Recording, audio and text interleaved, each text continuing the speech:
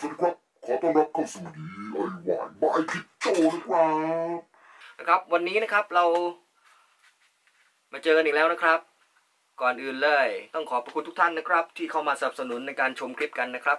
ก็อย่าลืมกดติดตามแล้วก็กดกระดิ่งไว้ด้วยนะครับ จะได้ไม่พลาดคลิปสำคัญนะครับ ที่ออกใหม่ทุกๆ วันที่เท่าไหร่ก็ไม่รู้เหมือนกันนะครับ แต่ออกพยายามออกให้ได้ทุกอาทิตย์นะครับ ผม วันนี้นะครับเราจะมาคุยกันในเรื่องของประเด็นการที่ว่า ในสถานการณ์จริงในการใช้งานจริงนะครับ ในการวางแผนที่จะตัดเหล็กด้วยเจียมือนะครับ เจียมือลูกหมูนั่นเองนะครับ โดยใช้ใบตัดนะครับ เราจะวางแผนยังไง ในการตัดงานนะครับ ให้มันปลอดภัยไม่มีการผิดพลาดอะไรทั้งสิ้นนะครับ ไม่เกิดอันตรายขึ้นในการทำงาน เราต้องวิเคราะห์ก่อนที่เราจะตัดงานนะครับ แล้วก็ เพื่อที่จะให้มันเกิดนะครับ ว่าเดาว่ามันจะเกิดอะไรขึ้นบ้างนะครับ ที่ในการที่เราจะทำงานครั้งเนี้ย นะครับอ่าผมมีตัวอย่างคลิปนะครับมาให้ดู จากคลิปที่เห็นนะครับ ผมได้ทำการเตรียมตัวลูกหมูเสียบปลั๊กไว้นะครับ แล้วก็แขวนไว้ข้างบนเรียบร้อยนะครับ แล้วก็ขึ้นบันไดไปทำงาน ในคลิปนะครับ ผมจะกะก่อนโอเค ผมจะมุมประมาณนี้ แล้วผมก็เริ่มตัดนะครับ ในการตัดเนี่ยครับเราจะปาดผิวผิวเท่านั้นนะครับ จะให้ใบกินเข้าไปในเนื้อเหล็กอะให้มันไม่เยอะนะครับ เพื่อป้องกันการขัด หรือว่าการที่จะเป็นโดนใบหนีบอยู่อย่างนี้นะครับ แต่ในในลักษณะการทำงานตัวนี้เหมือนกับบันไดจะห่างไปนิดนึงเพราะมันดูจะเหมือนจะสุดเอื้อมนิดนึงนะครับ แล้วก็อุปกรณ์เซฟตี้หมวกนะครับไอตัวเฟสชิลนะครับการสะเก็ดแล้วก็ตัวอุดหูนะครับเพื่อจะเอียมับนะครับเพื่อทำให้เสียงเรา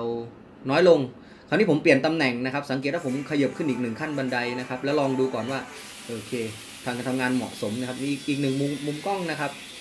ก็ผมก็จะเหมือนเดิมนะครับ ก็กินแค่ผิวนะครับ แต่อาจจะมีบางจังหวะที่มันแพรบเข้าไปนะครับ ก็ระวังคราวนี้ก็ลองกากาดูโอเค มุมบนเอาไงดี มุมบน เออ ไม่เอาดีกว่า ไม่ถนัดนะครับ อย่าฝืนนะครับ ไม่ถนัดลงมาขยับบันไดไปหาตำแหน่งที่ปลอดภัยแล้วก็มั่นคงท่าทางเหมาะสมในการทำงานนะครับโอเคครับขยับบันไดมาแล้วฟ้านะครับ แล้วก็พาลำตัวอันเป็นหมีนะครับ หนาๆขึ้นไป นะครับตัดนะครับ ในการตัดด้านบนตัวนี้ครับสังเกตสะเก็ดไฟนะครับ มันก็จะออกมาโดนแขนนิดนึงนะครับ ถ้าใครใส่ถุงมือยาวก็จะดีนะครับครับ และตัดด้านสุดท้ายนะครับ โดยใช้มือประคองไว้ก่อนนะครับ แล้วก็ตัดเกือบเกือบจะขาดให้เหลือนิดนึง แล้วก็บิดเอานะครับพอดีว่าผมใส่เหล็กเล็กไว้ข้างในด้วยนะครับ กันมันดีดหล่นลงมานะครับเผื่อแรงเรา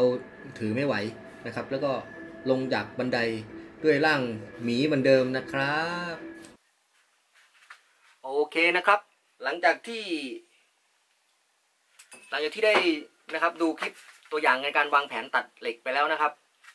ว่าทิศทางของเหล็กในการที่จะพับลงมาทิ้งตัวน้ำหนักการบีบนะครับ หรือว่าการดีดโกง การที่จะมาหนีบใบตัดนะครับของเลื่อยมันจะบีบใบตัดทำให้เกิดการแตกการหักของใบตัด หรือการหนีบปั๊บ เจียมือเนี่ยมันขือแล้วสะบัดเข้าหน้าเราเนี่ย มันจะเกิดขึ้นยังไงต้องประเมินประมาณไหนนะครับ ก็ในคลิปนี้นะครับทำขึ้นมาเพื่อที่จะให้เห็นว่าในการทำงานจริงนะครับ แล้วยิ่งเป็นที่สูงทำงานคนเดียวนะครับ ไม่มีใครช่วยประคองเนี่ยสำคัญมากในการอ่านแล้วก็วางแผนนะครับ งานที่เราจะทำจะให้ปลอดภัยหรือไม่ปลอดภัยนะครับ ท่านก็ต้องมีการวางแผนแล้วก็อาศัยประสบการณ์กันนิดนึงนะครับ ยังไงวันนี้ นะครับ DIY by Kid Show นะครับต้องฝากไว้ด้วยใครใช้เจียมือลูกหมูต้องใช้อย่างปลอดภัยนะครับ มีสตินะครับ อย่าดันทุลังดันเข้าไปอย่างเดียวนะครับ โอเค สวัสดีครับโยไปแล้ว